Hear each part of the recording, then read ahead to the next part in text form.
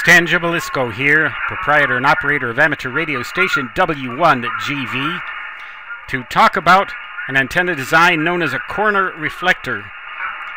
You'll find information about this design and related and similar antenna designs, as well as various other aspects of ham and shortwave radio in this book, due out in October of 2014 and to which I will provide a link in the description of this video to the Amazon.com page so you can pre-order it if you're watching this video before October and order it if you're watching it after October if you don't already have it yet.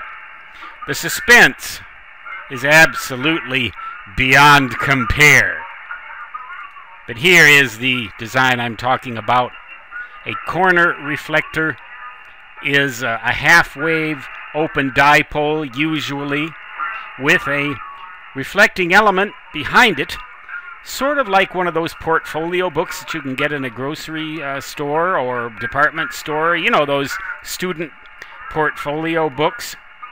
Uh, the dipole driven element can be just a single dipole or it can be several dipoles arranged in a collinear array.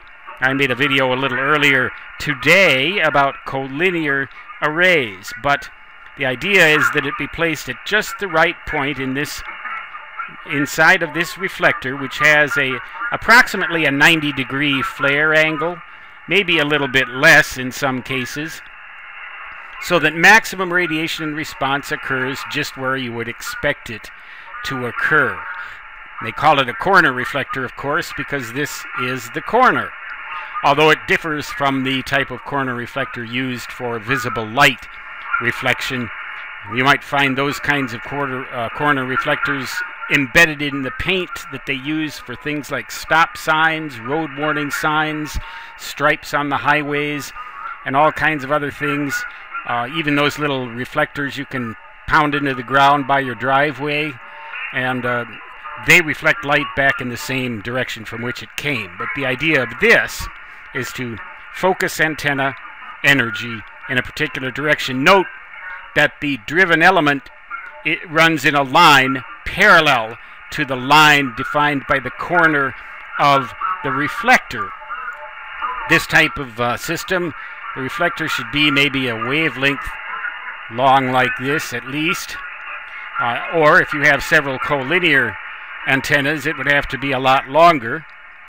But Obviously, this design would be impractical on a band such as 80 or 40 meters, but it's quite practical at uh, the upper VHF and the UHF amateur bands, 432 megahertz and above.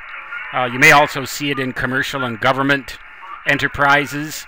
Uh, by the side of the road, for example, you may occasionally see one of these uh, for communicating with state troopers or or government emergency personnel, things like that.